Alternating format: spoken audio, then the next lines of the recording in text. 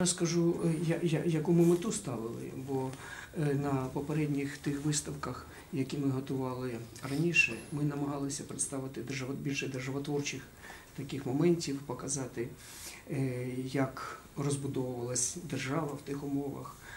Але на цій виставці, оскільки це вже 2020 рік і був 2019 рік минув, то ми вирішили показати бі- більше як більшовицька влада нищила цю Україну, як нищила Полтаву, як, е, як видавались циркуляри, декрети, накази, розпорядження про те, щоб нищити все українське, закривати українські інституції, у тому числі товариство просвіта, як е, вилучалась національна символіка, як проводились реквізиції і як відбувався терор.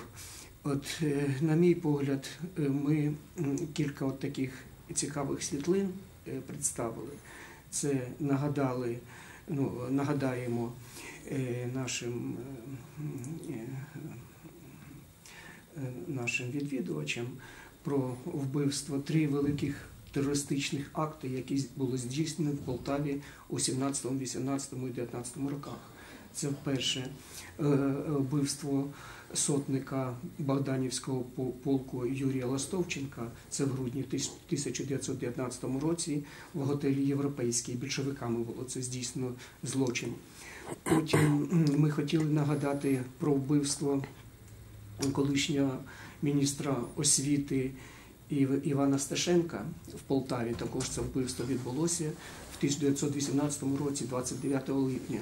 І розстріл монахів е, Лубенського Мгарського е, Спасо-Преображенського монастиря.